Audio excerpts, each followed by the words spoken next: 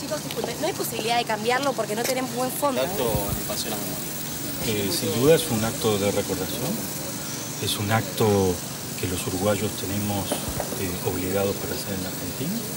El Plan Cóndor y la represión actuó en ambas márgenes de- del Plata y que naturalmente la forma de que nunca más haya terrorismo de Estado, además de la justicia y la verdad, es tener memoria. Además, naturalmente hay un efecto simbólico, porque algunos de los uruguayos que acá están, este, bueno, son familiares nuestros. En este caso específico mi padre, que fue una figura sin duda señera tanto en Uruguay como, como en Argentina. ¿Cuántos uruguayos desaparecieron en la última dictadura militar? En- en- en- hay unos eh, 200 y pico uruguayos reconocidos en su desaparición, pero muchos de ellos terminando su destino final en Uruguay. Por lo tanto, son desaparecidos en la Argentina porque vivían acá, pero llevados, interrogados este, y ejecutados en, en Uruguay a través del Plan Contra. ¿Cuál es la situación actual de los derechos humanos en Uruguay, señor Michelini? Tenemos un gobierno que le ha dado un golpe a la impunidad eh, total, después de 20 años de gobiernos que apadrinaron la, la impunidad, tenemos un gobierno estuvo contra la impunidad, entró en los cuarteles, buscó los restos de los desaparecidos. Este, hay militares y policías presos porque el gobierno actuó dejando fuera la ley de caducidad, la ley de impunidad que queremos anular, este, y por lo tanto los jueces pudieron actuar, se buscó información y siempre se estuvo de parte del gobierno al lado de las víctimas, del lado de las víctimas o de los familiares de las víctimas. ¿Cuáles son las posibilidades de la derogación de la ley de caducidad que ya ha sido presentado para un plebiscito? Eh, la anulación yo que pienso que, va a ser efectiva. Hoy las encuestas dan un 60% de opinión de anulación por parte del pueblo uruguayo para octubre, pero nosotros no queremos bajar los brazos y queremos que el pueblo uruguayo se pronuncie eh, conscientemente y por lo tanto haremos campaña al respecto. Dale, Marcelo.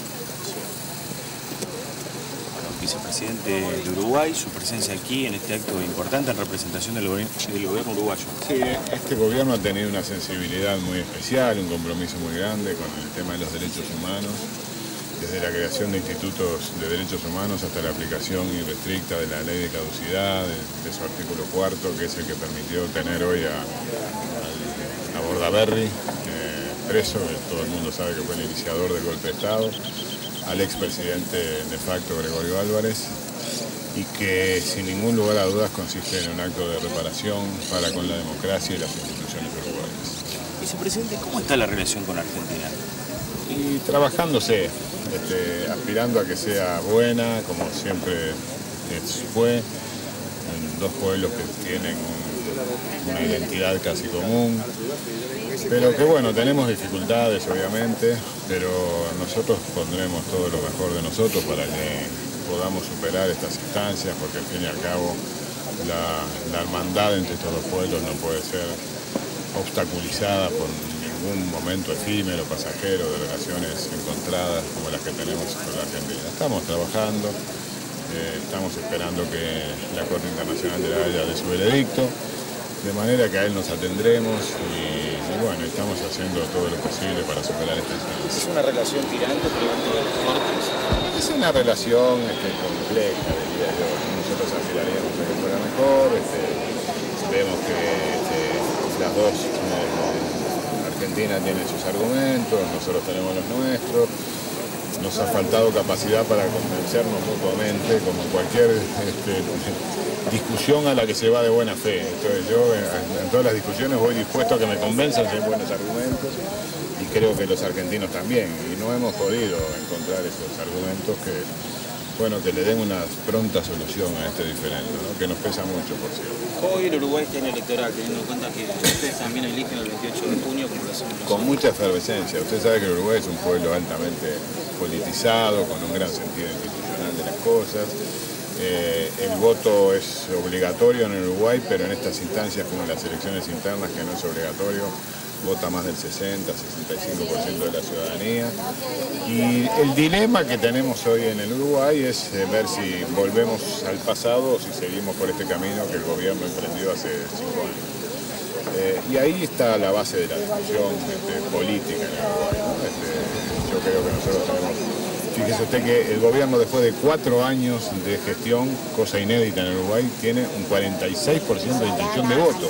Ninguno de los expresidentes uruguayos, de los partidos gobernantes uruguayos, desde la democracia hasta acá, superó el 25% de los cuatro años de, gobierno de cada uno de ellos. Así que eso es un síntoma muy evidente de que la ciudadanía siente que están cumpliendo con los compromisos asumidos. La llegada a elecciones internas en el Frente Amplio eh, con dos precandidatos, eh, tres.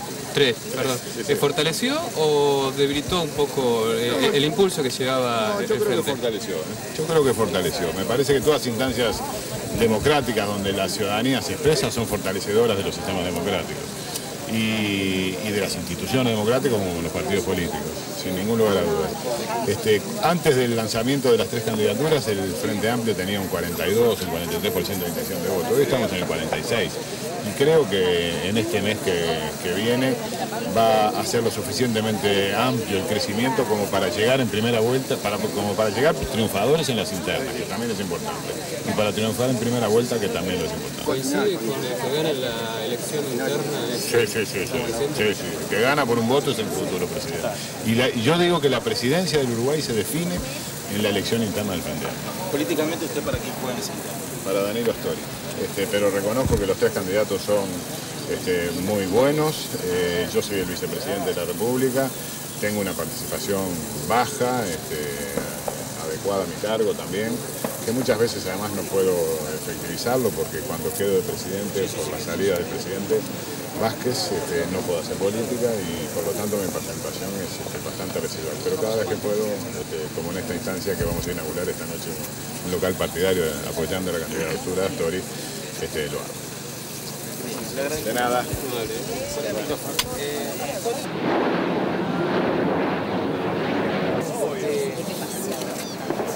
Por eso.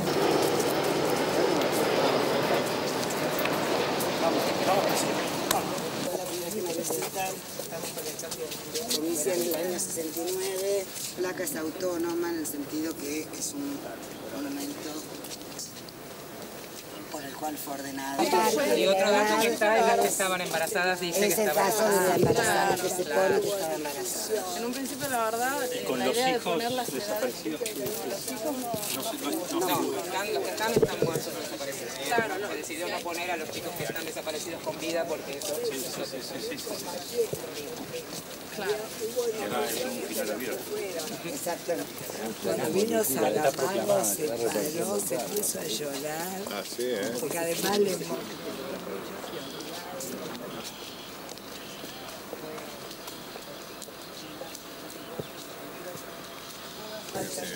El, proyecto arquitectónico también fue un concurso público.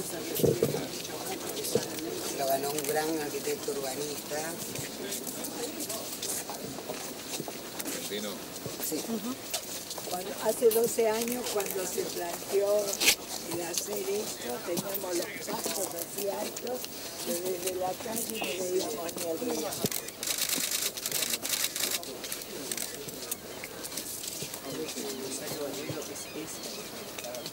Rosario Barredo es la, la que estaba con William Guillermo. Aparecieron cuatro. Apareció en el coche y en el... No, no se ve, pero interesante conocerlos. Se trabajó, Ricardo, es uno, se puede Dale, Chupi. Espera que terminemos. Para reorganizar esto todo, porque puede haber una persona vuelta. Por eso dejar está, para mí eh, ayuda un poquito. 14, 14 años, 14 años Y sin que nadie convoque. Sí, sin que nadie convoque.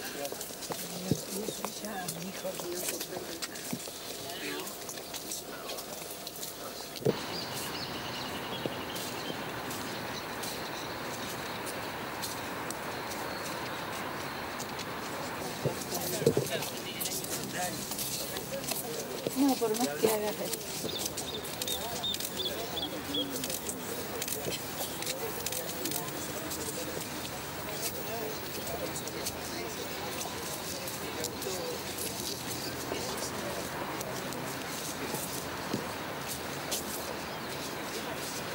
Este, Tienen relación permanente, o sea, de viaje, de ida y vuelta. Esta es mi cuñada. Esta te cuñada.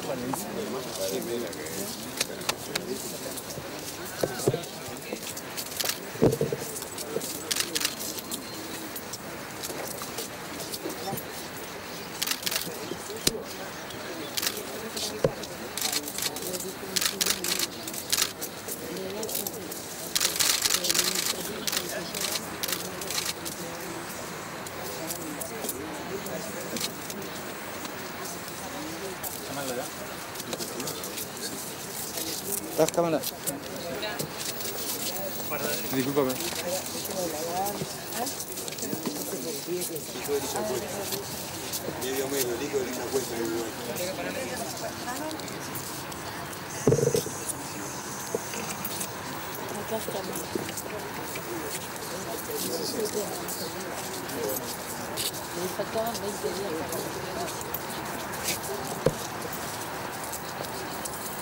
No me lo imagino.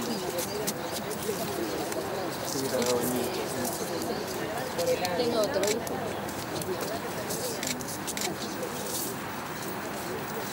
Se quejarían de sus hijos. No todos nos quejamos. Dijo cuando no Sí, sí.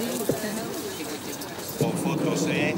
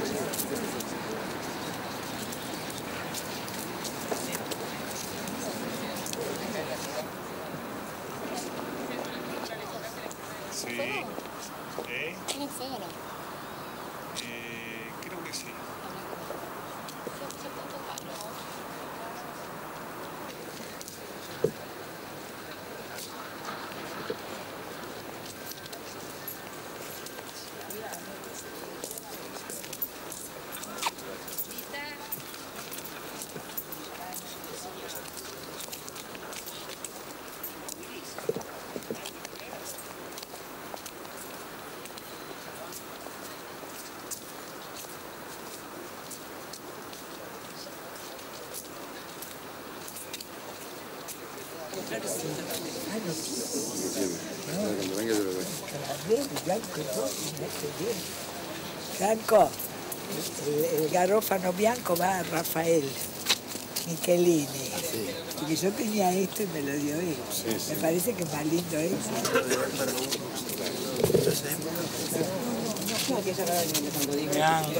Visto las infamias, las dificultades, la persecución, la angustia, nunca más vuelva a ocurrir.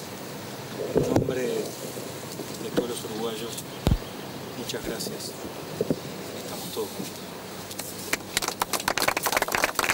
30.000 detenidos desaparecidos. ¡Presentes! 30.000 detenidos desaparecidos. ¡Presentes! Ahora y siempre, ahora y siempre.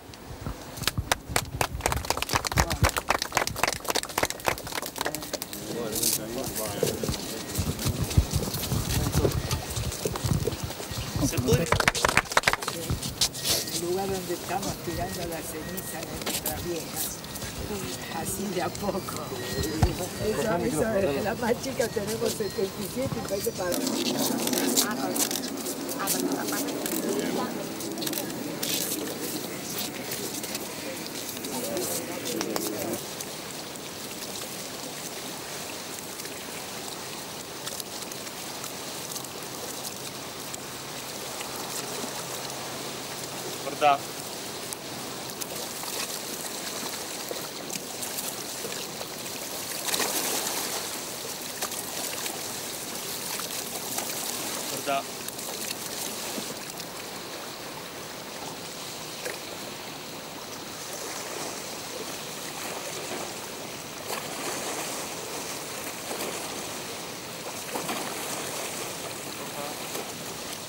¿Qué hago? No, no, no, no, despacito. ¿Ahora? Dale. ¿Ahora ya? Sí.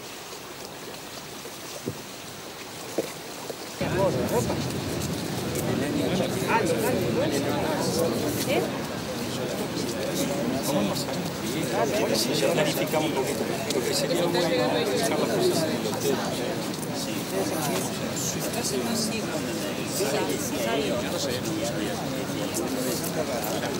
Central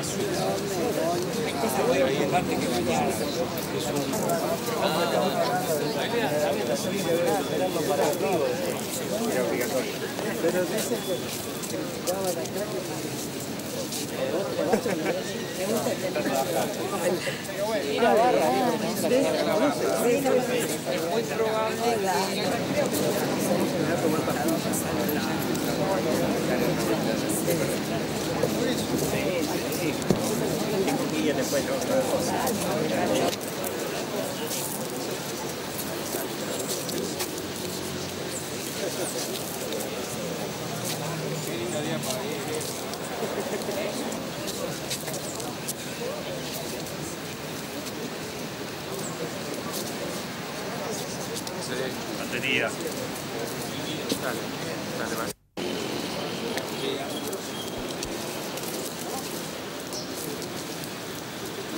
Señoras y señores de Buenos Aires les da a todos ustedes la bienvenida al acto de homenaje a los, y a la reposición de la placa con presidente de la República Oriental, señora Intendenta de la ciudad de Montevideo, Yara Rodríguez, legisladores y funcionarios diplomáticos del vecino país, funcionarios de la Cancillería Argentina, representantes de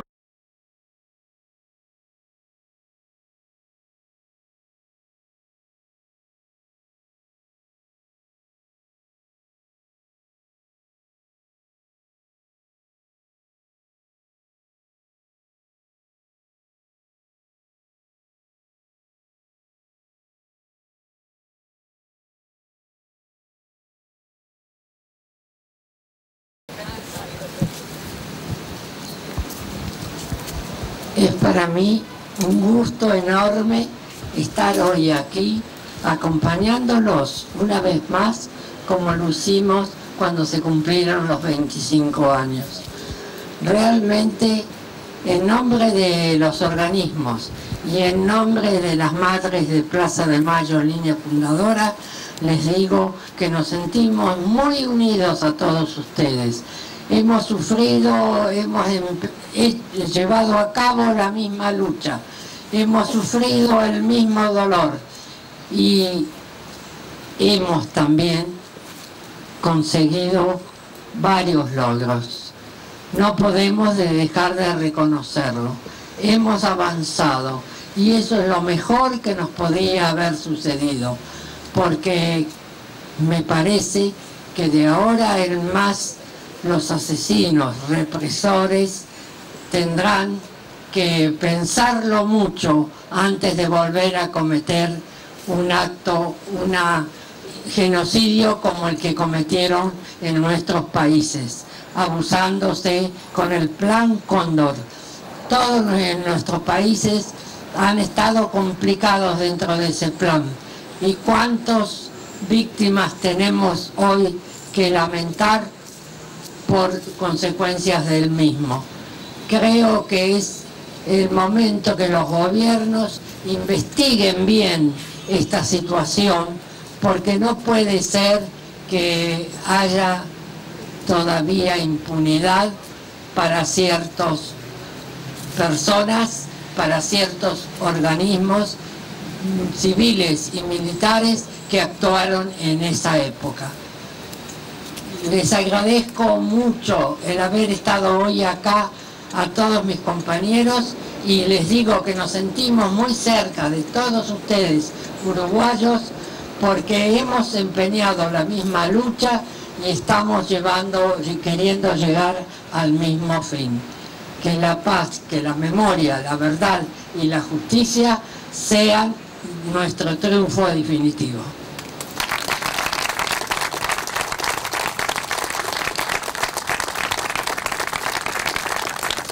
Señoras y señores, ahora las palabras del senador de la República Oriental del Uruguay, Rafael Michelini, hijo de Selmar Michelini.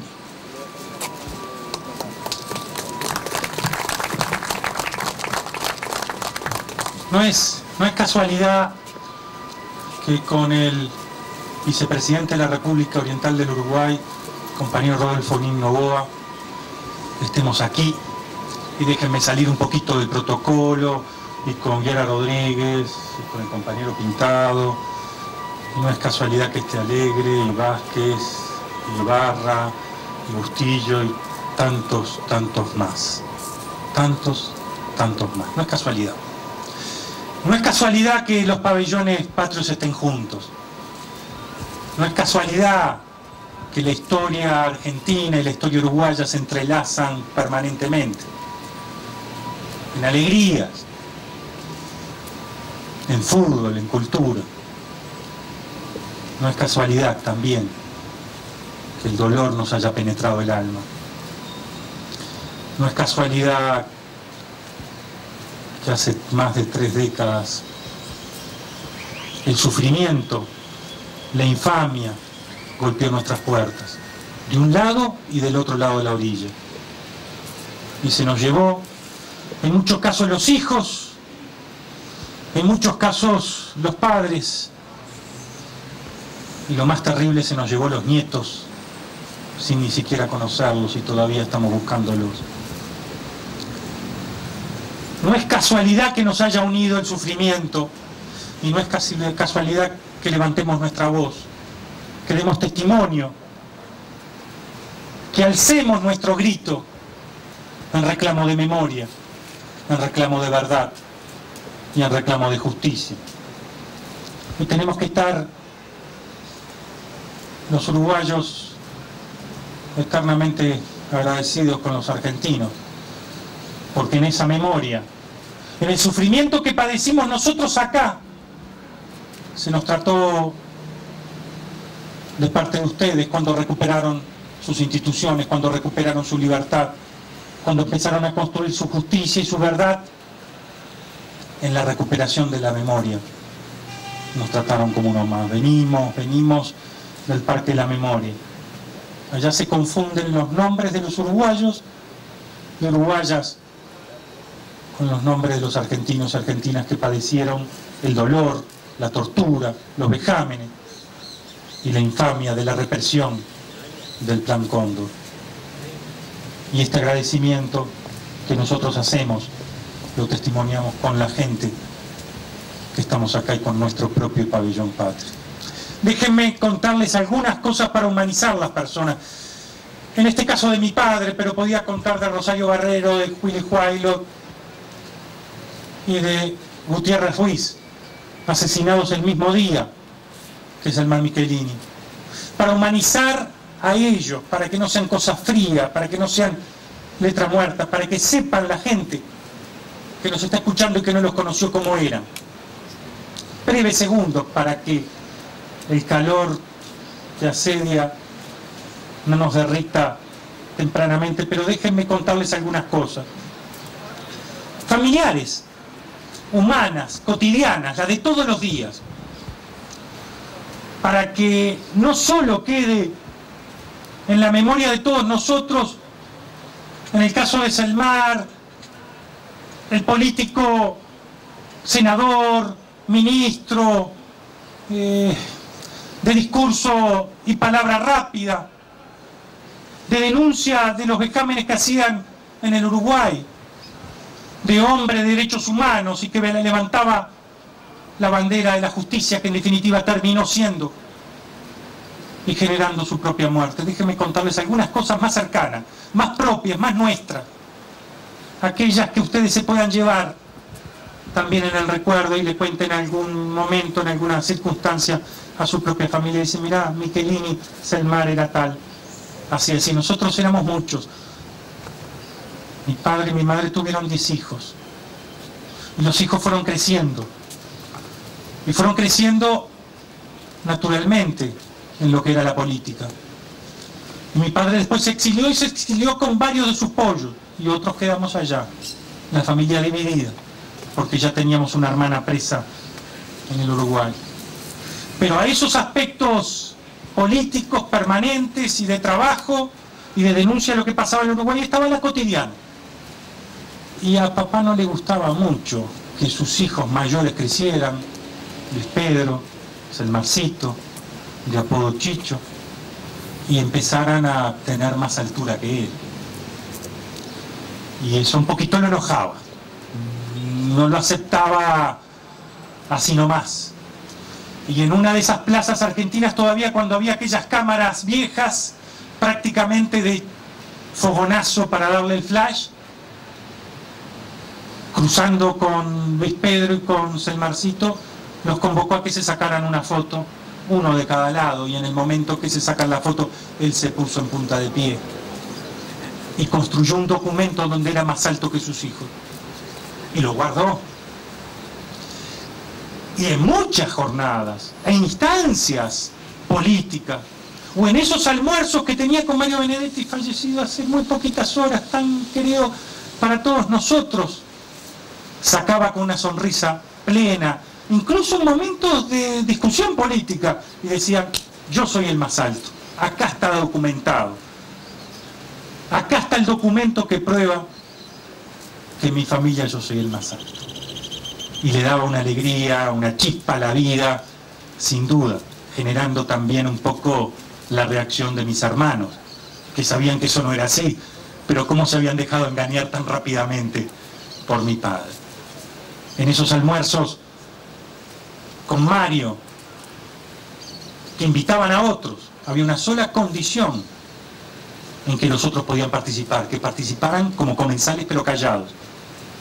Porque la discusión sobre literatura, sobre poesía, sobre historia, sobre política internacional que hacían Mario y Salmar, la única condición que tenían es que hubiera un profundo silencio del resto de los testigos. Son cosas cotidianas, cosas para llevarse, para tener cada uno en el alma, para que sepan también el daño que hicieron cuando se llevaron la vida de cada uno de ellos. Yo quiero terminar transmitiendo naturalmente el reconocimiento a la placa que estamos reponiendo. Tuvimos hace ocho años cuando se cumplían los 25 años, ahora llevamos 33. Pero yo quiero aquí transmitir que hay un homenaje supremo más importante a estos que son sin duda muy importantes, tanto el de la placa como el de los nombres de cada uno de ellos que hicimos en el Parque de la Memoria.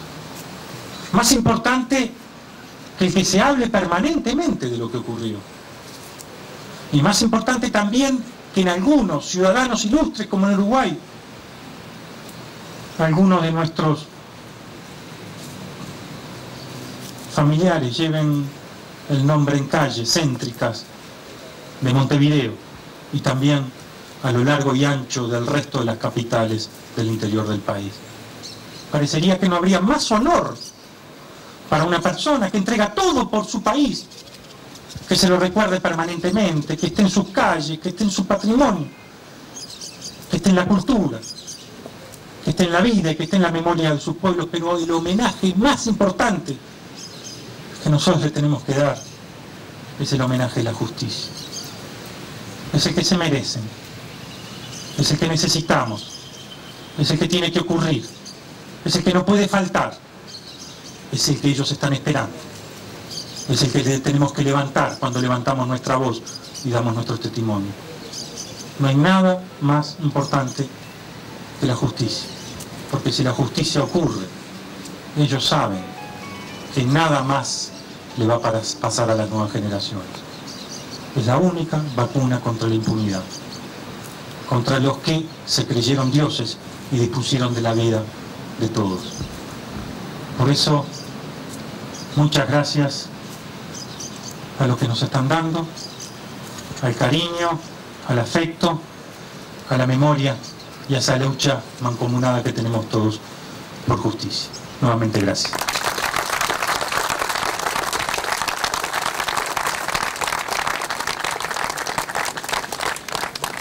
Vamos a invitar a la diputada Alegre, asesinados en la Argentina por razones políticas en el día del vigésimo quinto aniversario del secuestro y posterior muerte de los legisladores orientales Selmar Michelini y Héctor Gutiérrez Ruiz.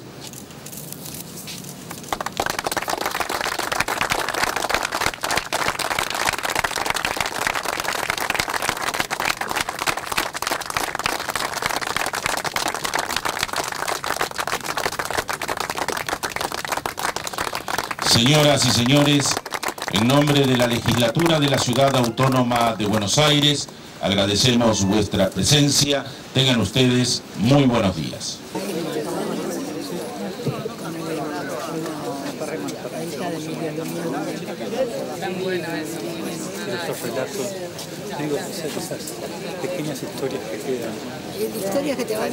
Vos tenés una idea y.